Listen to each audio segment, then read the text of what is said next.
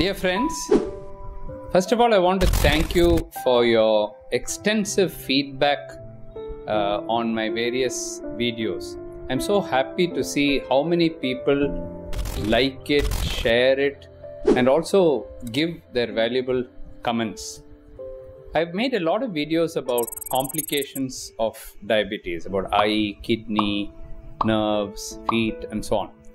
But the most popular response I get is from the diabetic neuropathy. People want to know more and more about neuropathy, and not surprisingly, because neuropathy is one of the most common complications of diabetes. So, I have spoken about earlier, but you all wanted to know more about the treatment, what should be done for neuropathy. First of all, for those who have not watched my earlier video, I'll just give you a quick recap.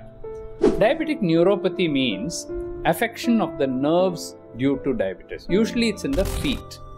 Of course, it can come in the hands, it can come in the trunk, in your chest, anywhere. It can come in the face. You can get a single nerve getting involved, you can get a paralysis of one of the movement of the eye. All kinds of neuropathic problems come. I'm not going to go into that now. And let me talk about the common peripheral neuropathy. When you have that, what happens is that you have numbness of the feet. That's one of the types of neuropathy. We call it a sensory neuropathy. There is absence of sensation. In the initial stages, you'll be able to feel something under your feet. Later on, the complete sensation goes off. It'll be like a log of wood, as if your foot is like a log of wood which you're just carrying about and you're it's not even connected to the body it becomes like that we call it as the insensate foot now, in an insensate foot, what happens is it's prone to injury because you don't know. Normally, there's a reflex action. You find something hot, you're walking, you'll ah. run or you'll take away your leg or you won't walk there. If you have insensate foot, you'll continue to walk until the, the foot is completely burnt. It can that's called as a thermal injury. Similarly, chemical injury. Or you may go and hit it somewhere. Trauma. You go and hit it somewhere Normally, you will cry in pain and you will take it off. Here, you won't know at all. You'll be bleeding, you will not know at all. So, one form of neuropathy is where you lose sensation. But that's not the only form of uh, symptoms that you get. Sometimes you can get burning feet. It will be just burning as if it's on fire. You know, this is a very common thing. People say, I can't sleep at night. My feet are as if they are on fire. So, that is one. Third is shooting pain it just shoot down as if an electric shock is going down your leg. Some of the symptoms which people say is my chappals fell off and I didn't even know about it. That is something people say. There others will tell me when I'm walking, I'm walking on hard ground, but it looks as if I'm walking on a mattress. I don't feel it at all because it is completely numb. So that's another kind of symptom. The worst is pain pain which is so intolerable that I found people saying, I feel like committing suicide. You know, so much pain, doctor. How long I can suffer? How many days, weeks, months? Uh, I felt like, in fact, there was, I'll tell you a story also. There was a doctor who came to me from Malaysia. And in one of my videos, I had said that some of these neuropathies can take two years and then it will go away. I told him. This man before he saw this video, had got so upset that from his 14th floor, he even attempted to jump off and kill himself because he just could not bear the pain. Luckily, those windows were fixed, so he could not do anything. Then, what happened, as luck would have it, a week later, he saw one of my videos where I had said some of these neuropathies can last up to two years, but after that, it will go away. So that gave him hope. Oh, after two years, it will go away. So I'll wait. So he waited, waited. After two years, somehow that neuropathy went off. He brought a big gift for me from Malaysia. And he said, Doc, today I'm alive because I saw your video. And in that you said, after two years it'll go away. So I said, okay, two years somehow I'll hold on. Then it'll go. And then it went away. I never knew that some of the neuropathies can last so long and then spontaneously it can go away. So don't worry, neuropathy is treatable, whether it is pain or numbness or whatever, it is all treatable. How do you treat the neuropathy is a question people ask me.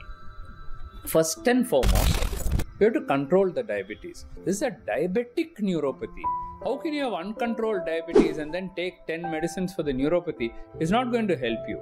So, first, get your sugar under good control. Okay? Number two, look after your feet.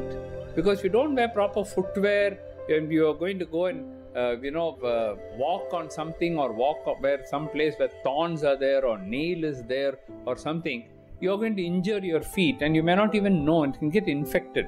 So look after your feet wear uh, footwear always don't walk barefoot. Number 3 if it is numbness then there are some medicines for that. There is alpha lipoic acid there is gamma linolenic acid, there is uh, vitamin B12, methylcobalamin, and many other medicines are there which can help to improve the neuropathy. There is sorbitol and alpha with this aldose reductase inhibitors. There are so many medicines which we use. None of them are totally specific for neuropathy, and the effect is varied. For some people, it works very well. For some, it doesn't work very well. But there are medicines, and we will once you come to us, we will tell you what medicines to take. For pain, there are a number of other uh, medicines which we give. For burning, for pain, there is gabapentin, there is pregabalin, and various other duloxetine. There are very uh, many drugs which are used. These are to be used only for a short period, maybe for a month, two months, three months. After that, after it goes away, you can stop the medicines and just continue with the diabetic control. So, whatever type of neuropathy you have, there is specific treatment for that particular neuropathy. There are specific drugs which can be used apart from supportive treatment. Sometimes, if you correct the vitamin D deficiency or vitamin E deficiency and so on, these may disappear. But over and above everything else, good control of diabetes is very important.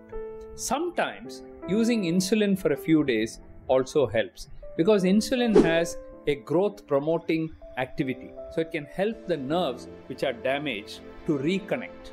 The reformation of the nerves can happen due to insulin. With the tablets, the sugars come down.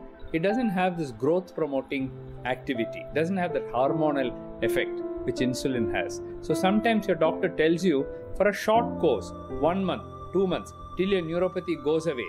This will also ensure that you have good control of diabetes. Now, if you have complications of diabetes like neuropathy, it is useful to check your blood sugar several times a day to see whether it's under control. Now, if you have to check your blood sugar several times a day, you have to have a glucose meter and you have to poke yourself so many times. It is quite painful. It's also quite expensive. So, today we have continuous glucose monitoring systems. You just have to put a small patch, and with that patch, you will get about 100 blood sugars in a day.